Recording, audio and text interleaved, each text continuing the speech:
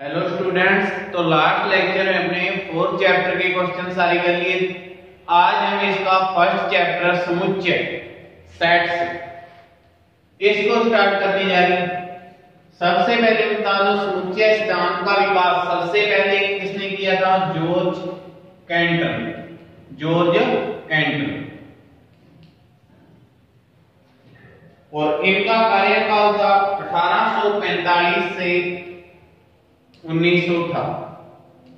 ठीक है।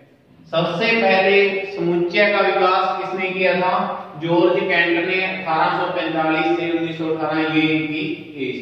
ठीक है। 1845 में से लेकर 1918 तक ये इनकी जीवन, जो भी इन्होंने अपना जीवन व्यतीत किया था, इस समय में यहाँ से लेकर यहाँ। अब बात आती है समुच्चय की परिभाषा। डेफिनेशन क्या है वस्तुओं वस्तुओं के सुपरिभाषित संग्रह को सुपरिभाषित संग्रह को समुच्चय कहते हैं, या सेट कहते हैं। वस्तुओं के सुपरिभाषित संग्रह को क्या बोलते हैं हम? समुच्चय कहते हैं। सुप्रवासी समूह अथवा समूह भी बोल सकते हैं, समूह अथवा संग्रह। भी उनका कलेक्शन करना। ठीक है सभी का कलेक्शन करना ही ये क्या होता है सेट्स यानी हमारा समुच्चय होता है। अब इसमें, पहले इसमें इसके आते हैं? रूप समुच्चय के निरूपण में कौन कौन सी विधियाँ आती है? देखो समुच्चय का निरूपण करने में दो विधियाँ आती है हमारी। समुच्चय का निरूपण समुच्चय का निरूपण में मुख्यतः कितनी विधियाँ काम में आती है? दो विधि दो विधियाँ काम में ली जाती है।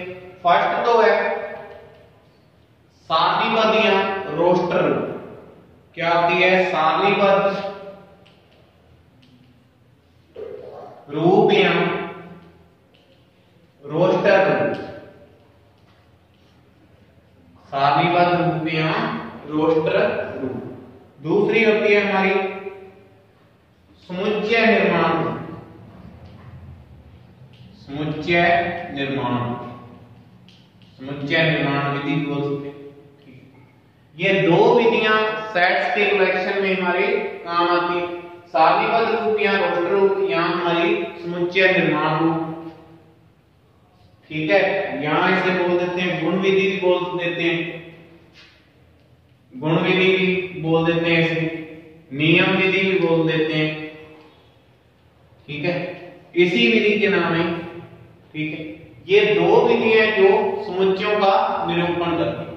सबसे पहली बात करते हैं सारणीबद्ध रूप या रोस्टर। सारणीबद्ध रूप या रोस्टर।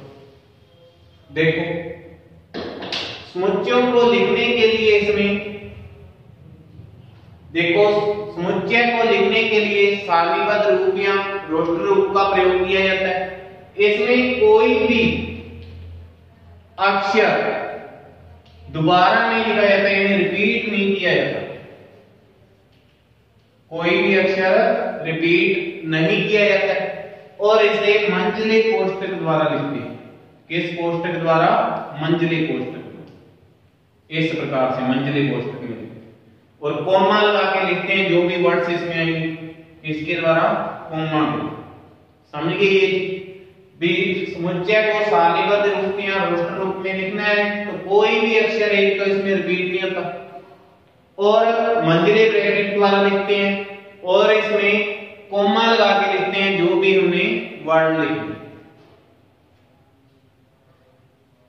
फॉर एग्ज़ाम्पल जैसे ये शब्द दिए हैं मैथमेटिक्स मैथमेटिक्स इन अक्षरों को उसने बोल दिया, आपको सारणीबद्ध रूप या रोस्टर रूप में लिखी सारणीबद्ध रूप या रोस्टर रूप में लिखी तो आप कैसे लिखोगे? मान लो ये इक्वल हमारा ये समुच्चय है। कोई भी अक्षर रिपीट नहीं होना चाहिए और कॉमा लगा के लिखोगे।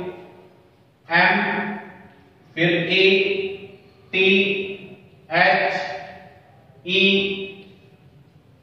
फिर उसके बाद एम हमारा पहले ही आ चुका है ए भी हमारा आ चुका है टी भी आ चुका है आई फिर उसके बाद सी एस तो ये इसका सारणीबद्ध रूप यहाँ रोस्टर रूप होगा। तो ये इसका क्या हो जाएगा यहाँ से सारणीबद्ध रूप यहाँ रोस्टर रूप। कोमा लगा के लिखेंगे और इसमें कोई भी अक्षर रिपीट नहीं करोगे ये होता है सारणीबद्ध रूप यहाँ रोस्टर अब आता है इसमें समुच्चय निर्माण रूप यहाँ गुण विधि समुच्चय निर्माण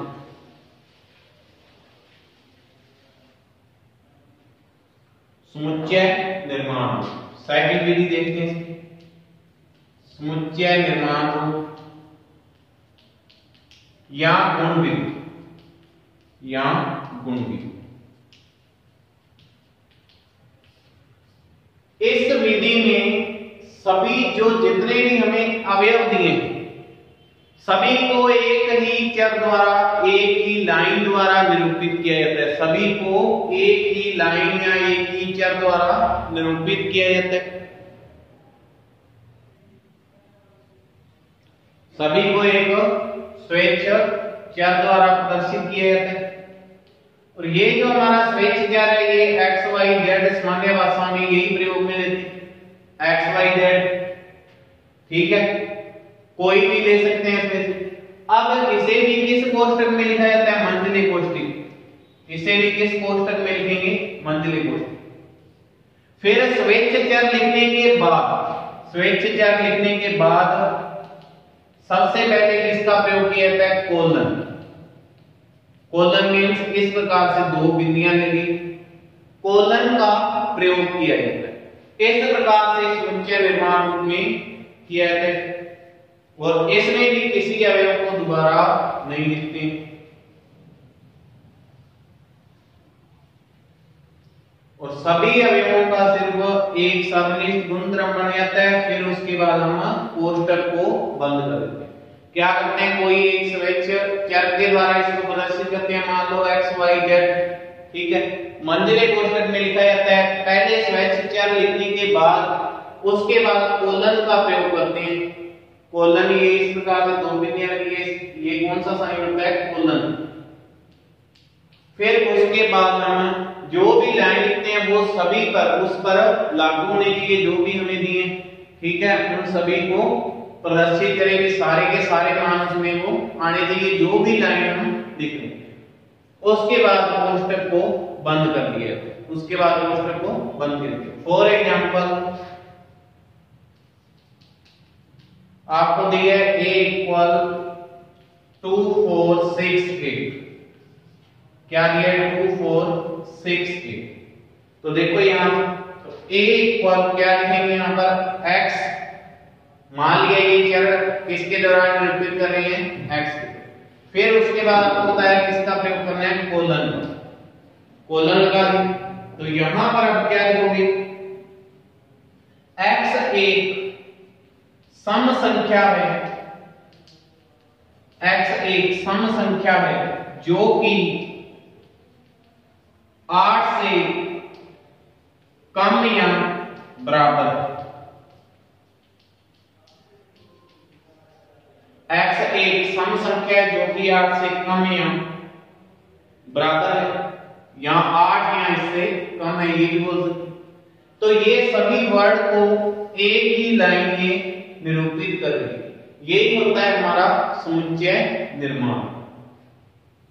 अब इसके बाद समुच्चय का संकेतन।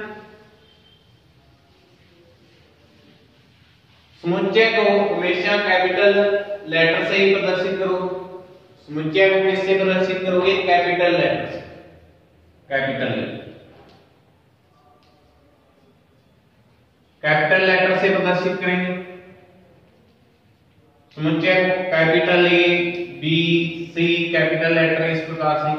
वाई जेड ये यहाँ ठीक है? कैपिटल लेटर से प्रदर्शित करें अब समुच्चय का संकेतन देखते हैं इसमें। समुच्चय का संकेत। सबसे पहले हमें पता होना चाहिए एन क्या होता है क्यू क्या होता है आर क्या होता है।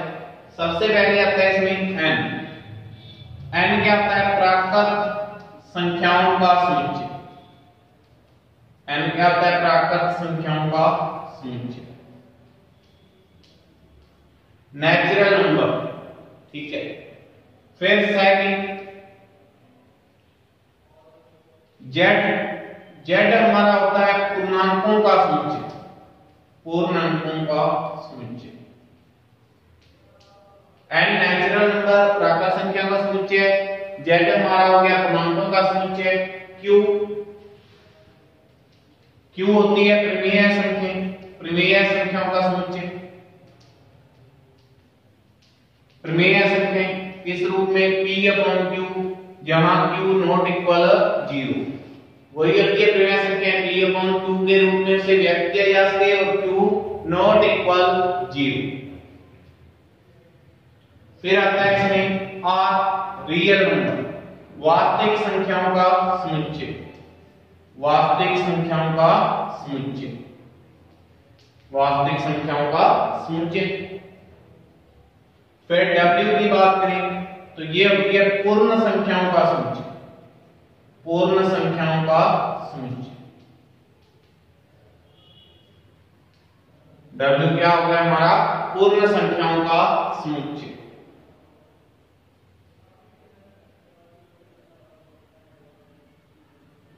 तो ये आपने याद सी आ गया इसमें। सी की बात करें सी होता है समीश्वर। संख्याओं का समुच्चय। समीसर संख्याओं का समुच्चय समीसर संख्याएँ किस रूप में लिखी जाती है? C equal A plus iota iota यहाँ पर काल्पनिक होती है। आइटा यहाँ पर क्या होती है? काल्पनिक को प्रदर्शित करती है। A और b बिलोंग्स करेंगे किसमें? कैपिटल r यानी भाग z प्लस का आए तो यहाँ पर धनात्मक पूर्णांकों का समुच्चय आ जाएगा। Z माइनस आ जाएगा। तो ऋणात्मक पूर्णांकों का समुच्चय आ जाएगा, r प्लस आ जाएगी तो वास्तविक धन संख्याओं का समुच्चय इस प्रकार से इनको निरूपित किया। तो ये पता होना चाहिए कौन से वैल्यू आती है जेड क्यू आर और w और सी ठीक है? तो यहाँ पर ये सेट की दो विधियाँ बताई गई। सबसे पहले बता दिया समुच्चय सेट होता क्या है? कलेक्शन होता है वस्तुओं का, सुप्रभाषित, इकट्ठा संग्रह करना, समूह में लिखना। ठीक है? फिर उसके बाद इसको कैपिटल लेटर से ही प्रदर्शित करते हैं। दो विधियाँ बताई है सारणीबद्ध रूपियाँ, रोस्टर रूप, समुच्चय निर्माण रूपियाँ, गुण विधि। इसमें एग्जांपल भी दिए वापिस रिपीट भी किया जाएगा रोस्टर रूप में, कोई भी वर्ड। फिर उसके बाद समुच्चय वाली में उसमें एक ही लाइन सभी को कंप्लीट करें। उसके बाद ये संकेतन बता दिए एन क्या होते हैं जेड क्या होते हैं।